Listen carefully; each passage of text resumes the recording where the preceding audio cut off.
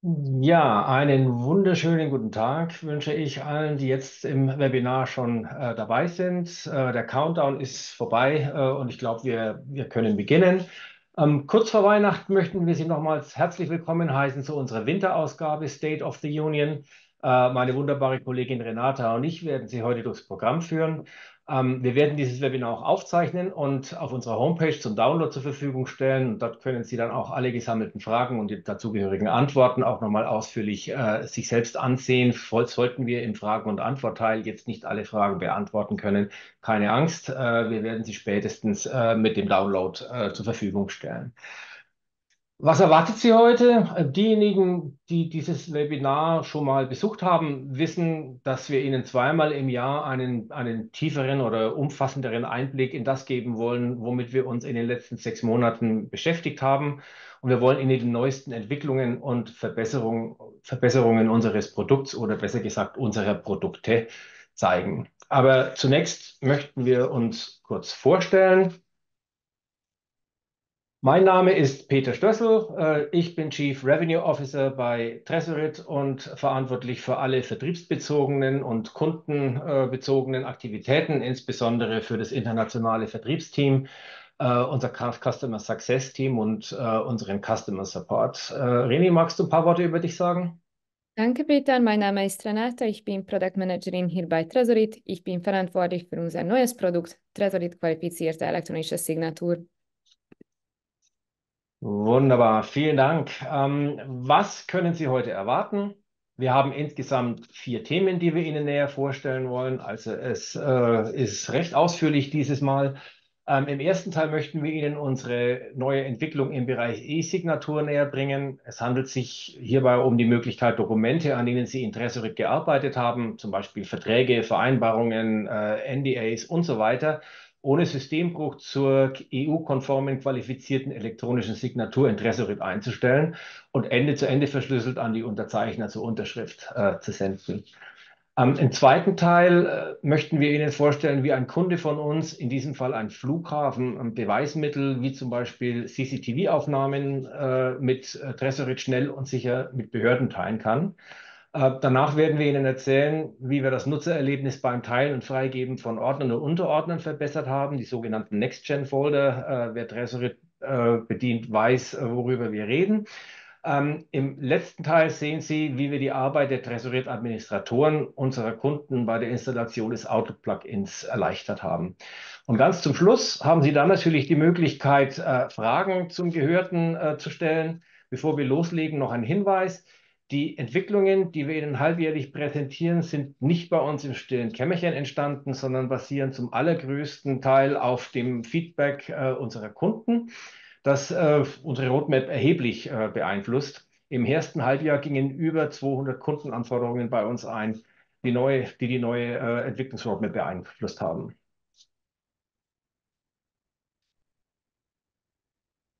Aus welchen Gründen äh, entscheidet sich äh, Kunden für uns? Um, als Beispiel habe ich Ihnen heute mal ein Zitat eines unserer Kunden mitgebracht. Ähm, Trade Republic ist heute Europas größte Sparplattform und ist in 17 europäischen Ländern verfügbar. Ähm, als Bank unterliegt sie denselben strengen Datenschutzrichtlinien wie alle anderen Finanzdienstleister. Und das bedeutet, dass sich Trade Republic regelmäßig sehr, sehr strengen Prüfungsverfahren unterziehen muss. Und in diesen Prüfungsverfahren müssen eine Unmenge von Dateien, wie zum Beispiel sensible Finanzunterlagen oder personenbezogene Daten, mit externen Partnern, Auditoren, Rechtsberatern und vielen anderen äh, Stellen geteilt werden. Äh, und um die Verwaltung und das Teilen dieser Dateien datenschutzgerecht umsetzen zu können, hat sich Trade Republic für Tresorit entschieden. Tresorit ermöglicht nicht nur das einfache und sichere Teilen von Daten oder ganzen Ordnern. Tresorit gibt Trade Republic auch die maximale Kontrolle über diese Daten. Es ist jederzeit verfolgbar, welche Parteien und Nutzer wann und von wo Zugriff auf diese Dateien und Ordner haben. Trade Republic verwendet Tresorit inzwischen in nahezu allen Abteilungen, einschließlich Compliance, Recht, Finanzen, äh, Betrieb äh, und, und, Kundendienst und plant bereits äh, weitere Ausweitungen für das Onboarding von Lieferanten und Anbietern. Das ist jetzt nur eine von vielen Kundenstimmen. Wenn Sie mehr über unsere Kunden und ihre Geschichte mit Tresorit erfahren möchten, lade ich Sie herzlich ein. Besuchen Sie bitte unsere Website. Dort finden Sie viele weitere Customer Stories und Kundenrezessionen. So viel vorab. Lassen Sie uns nun einsteigen in unsere Themen heute. Reni, magst du mit unserem ersten Thema anfangen?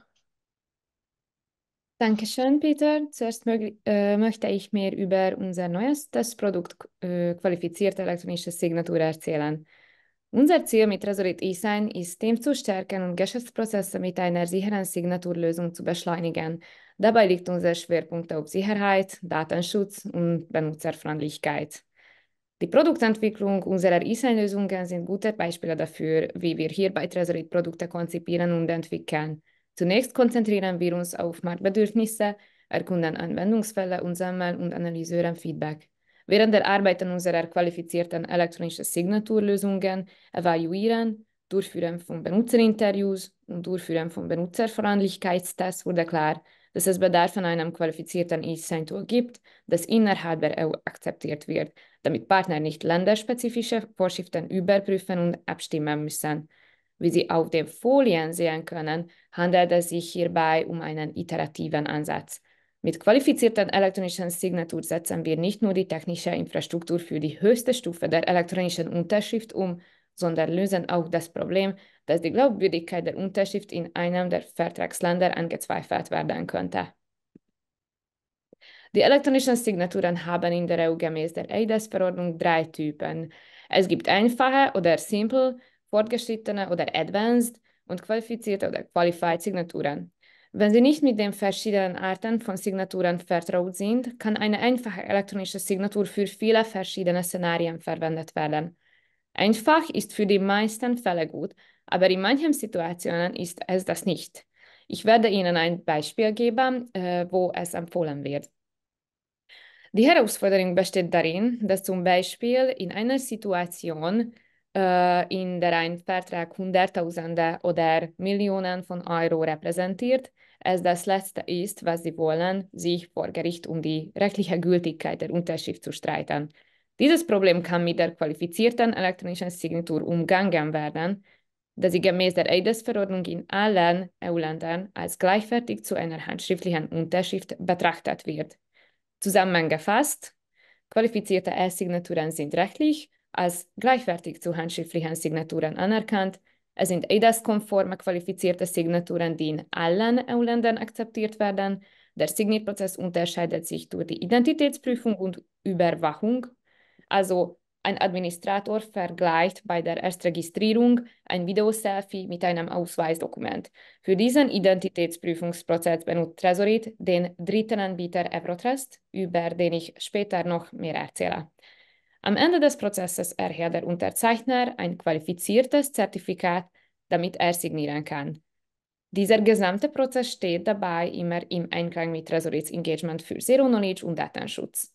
Daher sind die Inhalte der unterzeichneten Dokumente für niemanden zugänglich, nicht einmal für Tresorit oder Evrotrust, sondern nur für die involvierten Parteien, den Anforderer der Unterschrift und die Unterzeichnenden. Es wird kein Dokument an Evrotrust zur Unterzeichnung gesendet. Die Dokumente verbleiben in der Tresorit-Umgebung. Was sind die Hauptvorteile der Lösung?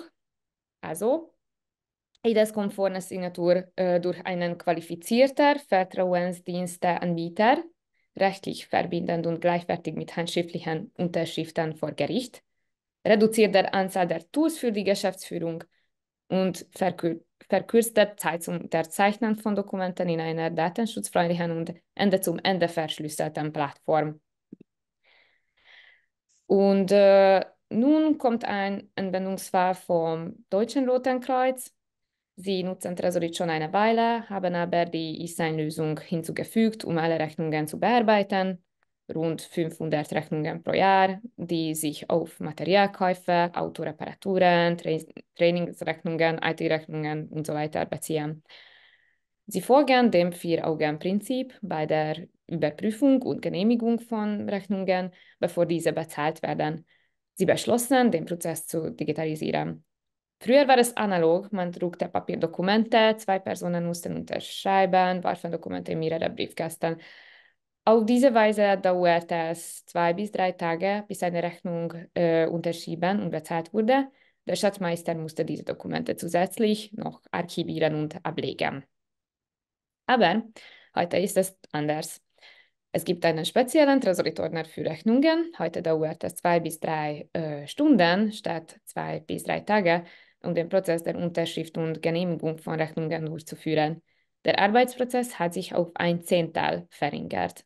Sie senden E-Mails, der Empfänger kann die sofort sehen und darauf zugreifen. Der Zugriff auf den Rechnungsordner ist gewährt.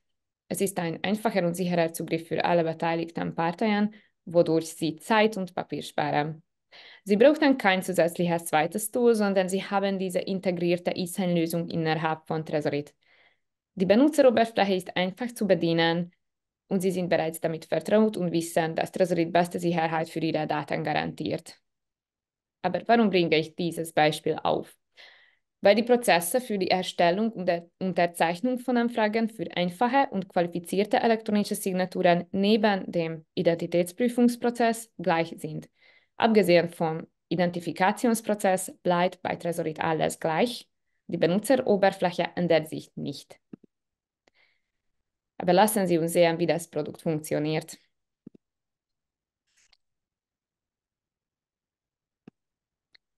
Hier sehen wir ein Video vom Unterschriftsantrag bis zum Unterschriftsprozess. Zuerst müssen Sie ein Dokument auswählen, das unterschrieben werden soll. In unserem Fall handelt es sich um eine äh, Geheimhaltungsvereinbarung.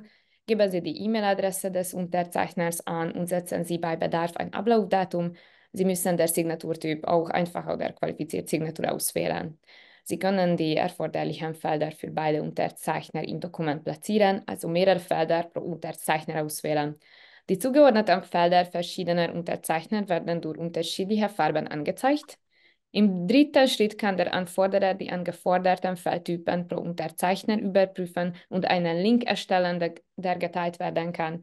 Nachdem der Unterzeichner den Link erhalten oder eine E-Mail-Benachrichtigung darüber bekommen hat, dass er ein Dokument zum Unterschreiben hat, kann er nach dem Öffnen den Unterzeichnung Unterzeichnungsprozess starten. Nachdem alle Felder ausgefüllt wurden, beginnt die Identitätsprüfung. Und bei der Identitätsprüfung benötigen Sie Ihr Mobilgerät. Wenn Eurotrust kein bereits existierendes Konto für die unterschreibende Person finden kann, nachdem diese ihre Telefonnummer oder E-Mail-Adresse hinzu hinzugefügt hat, wird die unterschreibende Person darum gebeten, die abzuinstallieren. Anschließend sollte innerhalb der mobilen App Folgendes ausgeführt werden, um ein Konto zu registrieren und den Identitätsprüfungsvorgang abzuschließen. Sie müssen eine PIN und ein Passwort einrichten. Sie müssen den Ausweis oder Reisepass der unterschreibenden Person scannen, ein Video-Selfie erstellen und die Telefonnummer und E-Mail-Adresse verifizieren. Sie müssen dieses Konto nur einmal einstellen und den ganzen Prozess nur einmal durchführen. Aber wenn Eurotrust für die unterschreibende Person ein bereits vorhandenes Konto mit einem Supervisor findet, wird die unterschreibende Person gebeten, mit dem Signaturvorgang mit Hilfe der App fortzufahren. Der unterschreibenden Person werden die Dokumente als noch ausstehend angezeigt und sie kann sie entweder unterschreiben oder die Anfrage ablehnen. Sobald der Signaturprozess in der Eurotrust App abgeschlossen wurde, wird der Anfrage die verifizierte Signatur hinzugefügt und die unterschreibende Person kann das fertiggestellte Dokument über den Tresorit-Link herunterladen.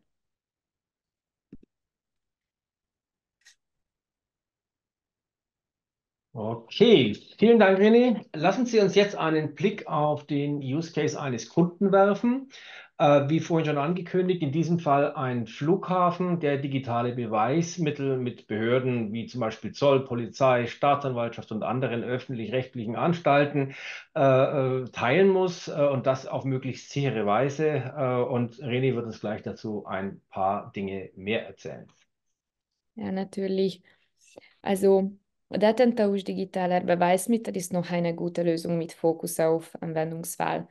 Wichtige Funktionen wie Wasserzeichen, Richtlinienkontrollen und das Deaktivieren des Downloads bedienen bestimmte Anwendungsfälle, beispielsweise wenn Sicherheitsaufnahmen mit Behörden, Fluggesellschaften oder Versicherungsunternehmen geteilt werden müssen und empfindliche Dateien geschützt werden müssen.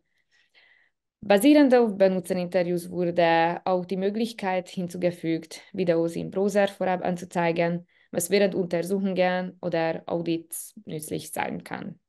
Zugriffsprotokolle sind ebenfalls für dieses Produkt verfügbar. Der Produktentwicklungsprozess ähnelt sehr dem, was wir bei eSite-Produkten gesehen haben. Ein anschauliches Beispiel für den Nutzen dieses Produkts zeigt sich bei Flughafenprotesten und Vandalismus. Die Sicherheitsaufnahmen können dazu beitragen, Arbeitsabläufe zu optimieren. Die Verhinderung unbefugten Zugriffs ist sowohl aus rechtlichen als auch ethischen Gründen entscheidend. Die sichere, geschützte und kontrollierte Umsetzung ist für die Geschäftskontinuität und die Einhaltung von Vorschriften entscheidend. Und mit Wasserzeichen, der Aktivierung von Downloads und Zugangskontrollen können Sie die Kontrolle behalten und Missbrauch vermeiden. Durch die sichere Verschlüsselung von Beweismaterial wird Authentizität sichergestellt und es wird verhindert, dass daran herumgebastelt wird. Das ist besonders hilfreich bei, bei Versicherungsverhandlungen und Schadensregulierung. Tresorit ist das perfekte Werkzeug, um digitale Beweise und Daten sicher und gesetzeskonform mit Justizbehörden, Versicherungen und so weiter zu teilen. Dank der neuen Entwicklungen können nun jedoch auch Videomaterialien ohne Download und mit Wasserzeichen geteilt werden. Gut, schauen wir uns doch mal an, wie das Beispiel tatsächlich funktioniert. In diesem Fall ein Beispiel eines, eines Vandalismusvideos. Ähm, Reni, ich übergebe wieder an dich. Ja, eine Minute. Also äh, durch das äh, Beispielvideo können äh, Sie sehen, wie das Produkt am Beispiel des Flughafens funktioniert, ähm, wegen eines Vandalismus.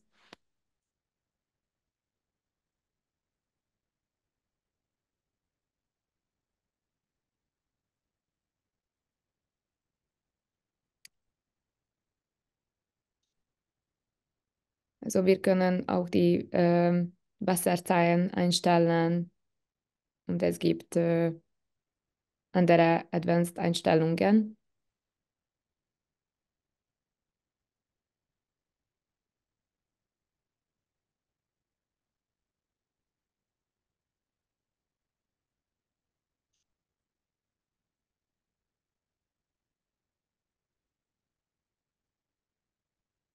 Also im Grunde genommen sehr einfach. Sie schicken den Link, den freigegebenen, einfach an die gegenüberliegende Stelle. Die bekommt eine E-Mail. Äh, Sie machen den Link in einer gesicherten Umgebung auf und können direkt im Browser dann auch äh, dieses Video, das Sie sich ansehen sollen, mit einem Wasserzeichen versehen, in einem verschlüsselten Bereich ansehen, ohne dass Sie es runterladen müssen.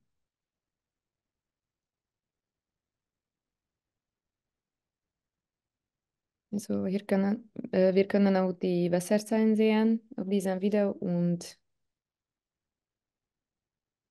ja. Okay. Nun kommen wir zum nächsten Thema. Tresorit muss sich gelegentlich auf technische Entwicklungen konzentrieren, ähm, da die Struktur des Tresorit-Ordners so entscheidend ist und einen enormen Wert darstellt, mussten wir uns ähm, um den Aufbau der technischen Tiefe in Bezug auf dieses Feature kümmern. Ein neuer Ordnertyp wurde eingeführt, der nun für alle verfügbar ist, wenn ein neuer Hauptordner erstellt wird. Dies ermöglicht die Hinzufügung von zusätzlichen Funktionen zu diesen Ordnern in einer viel skalierbaren Weise. Also während des Evaluierungsprozesses kamen viele verschiedene Szenarien auf, wie Benutzer ihre Ordner extern und intern teilen.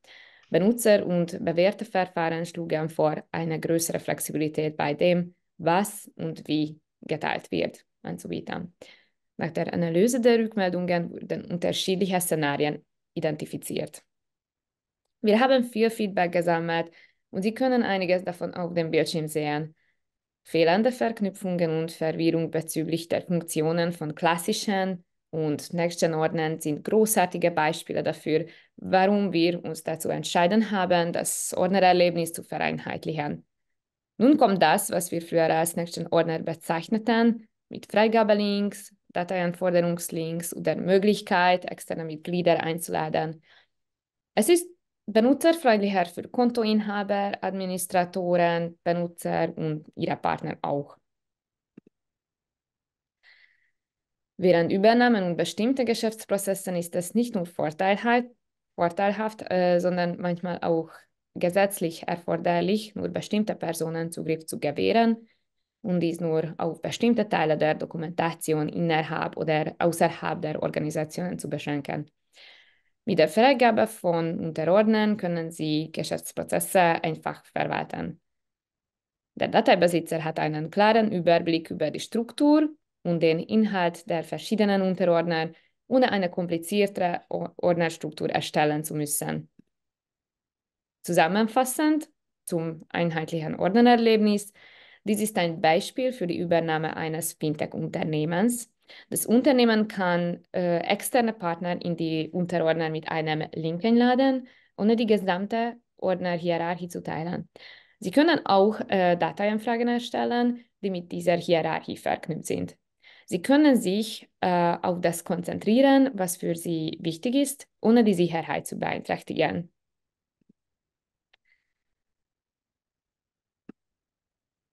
Also in unserem Beispiel, Eron leitet eine Übernahme. Er muss bestimmte Wohnen mit Kollegen und externen Partnern teilen. Er möchte es sicherstellen, dass das Projekt Fortschritte macht, per Personen äh, ausschließlich auch für die äh, Erledigung ihrer jeweiligen Aufgaben notwendige Inhalte Zugriff haben. Also, Was wir im Video sehen, ist, dass die verschiedenen Mitglieder des Projekts unterschiedliche Zugriffsrechte haben, sodass sie immer die Unterordner sehen, die gerade mit ihnen geteilt sind.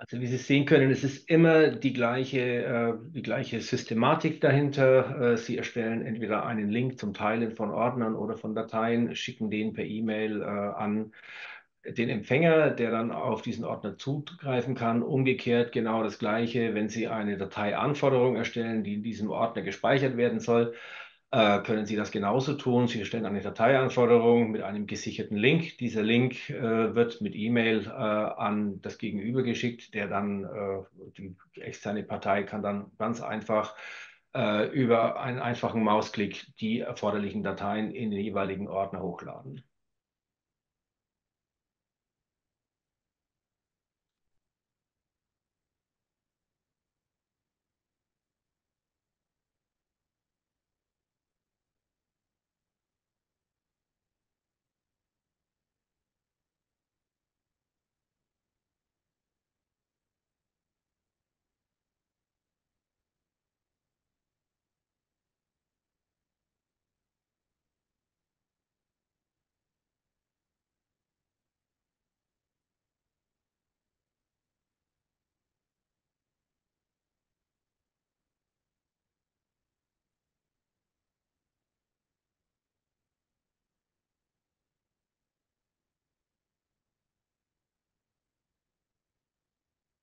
Und das ist das Ende des Videos. Ähm, noch einmal, äh, was wir auf diesem Video äh, sehen könnten, ist, dass die verschiedenen Mitglieder des Projekts unterschiedliche äh, Zugri Zugriffsrechte äh, gehabt haben. Also unser letzter Tagesordnungspunkt betrifft äh, die Installationsrichtlinie für das Outlook-Plugin. Wie Sie wissen, integriert sich Tresorit in Microsoft und eine dieser Integrationen ermöglicht es, Tresorit-Anhänge innerhalb von Microsoft anzubieten. Jeder, der sensible Informationen teilen möchte, dies aber über Tresorit und Ende-zu-Ende-Verschlüsselung sowie die Zero-Knowledge-Technologie tun möchte, kann so die Vorteile von Microsoft nutzen, das heutzutage von einer sehr großen Anzahl von Unternehmen verwendet wird. Diese Funktion ist bereits äh, seit einiger Zeit auf dem Markt, aber wir haben eine Richtlinie für die Administratoren hinzugefügt, die ihnen zusätzliche Kontrolle ermöglicht. Jetzt können Administratoren mit einem Mausklick entscheiden, für wen sie die Richtlinie aktivieren oder deaktivieren möchten. Damit wäre ich am Ende meiner Ausführungen. Ähm, Peter, ich übergebe das Wort. Vielen Dank, René. Ähm, ja, jetzt kommt zu den Fragen und Antworten. Ich bin mir sicher, dass äh, Sie einiges an Fragen haben, war ja auch äh, jede Menge Stoff, den wir Ihnen gerade gezeigt haben. Äh, nehmen wir uns ein paar Minuten Zeit, damit Sie die Fragen formulieren können. Klicken Sie einfach auf den F&A-Button unten auf Ihrer, auf Ihrer Leiste im, im Screen. Äh, und dann geht ein Fenster auf, wo Sie Ihre Fragen formulieren können. Äh, wir geben Ihnen mal äh, eine gute Minute Zeit und dann schauen wir mal, was so reinkommt und was wir beantworten können. Ähm, sollten Fragen dabei sein, die jetzt nicht zum Zuge kommen, auch wegen der Zeit, keine Angst. Wir werden alle Fragen sammeln und werden die auch im Anschluss, wenn wir das Video veröffentlichen, äh, und mit den Unterlagen, die wir versenden, werden wir alle Antworten hinzufügen, so dass keine Antwort äh, verloren geht und auch keine Frage verloren geht, selbstverständlich.